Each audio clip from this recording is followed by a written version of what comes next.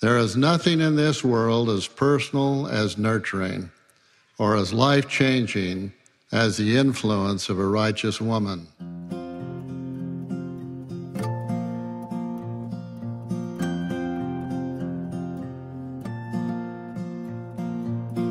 Thursday, April 8th. Tuesday, April 13th. April 19th, 2010. I really admire my mother. We have a great relationship. Today in seminary, we were talking about the 2000 Stripling Warriors. When we got to the part about not doubting because their mothers knew it, I immediately thought of my mom. The other day, I was really stressed out because of all the homework I had. I went to help my mom today with helping for Angela's play.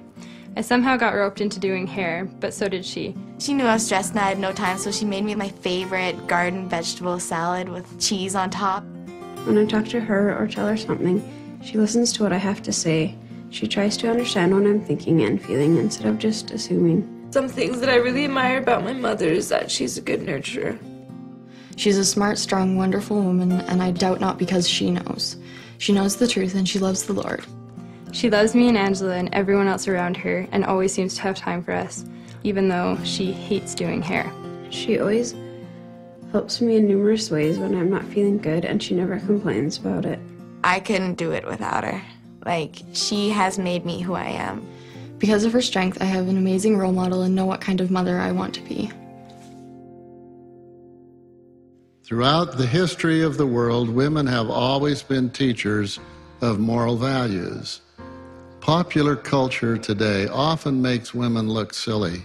It objectifies them and disrespects them, and then suggests that they are able to leave their mark on mankind only by seduction. And so, my dear young women, with all my heart, please look to your faithful mothers for a pattern to follow. Model yourselves after them not after celebrities whose standards are not the Lord's standards and whose values may not reflect eternal perspective. Qualities that my mom has right now that I want to have when I'm a mother is just being kind and patient and always listening and always being there. I want to be able to serve like my mom because my mom is so selfless. Like, she always thinks of others, like rarely thinks of herself. Like, and that's how she's happy is that she'll serve others. She likes to um, pull pranks at young ones' camps. and she likes to make people laugh, and she's one of those personalities that you just you like to be around.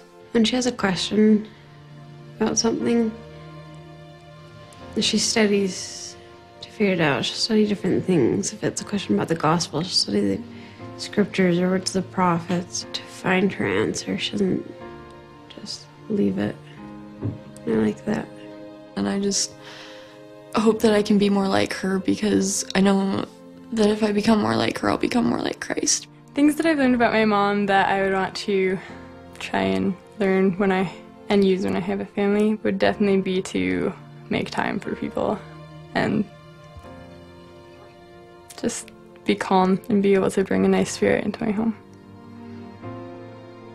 Love your mother, my young sisters. Respect her. Listen to her. Trust her. She has your best interests at heart. She cares about your eternal safety and happiness. I love my mom because she loves me. She's kind and she's patient and when I come to her with problems, she doesn't think they're silly. She just helps me and comforts me. I love my mom because she's so easy to love and so happy all the time. My mother will support me in everything I do, like all my interests, even if they don't interest her, she'll support it and she'll try to find out about it and she'll be excited about what I'm excited about. I love my mom a lot. She's a wonderful mother. I'm so glad I have her.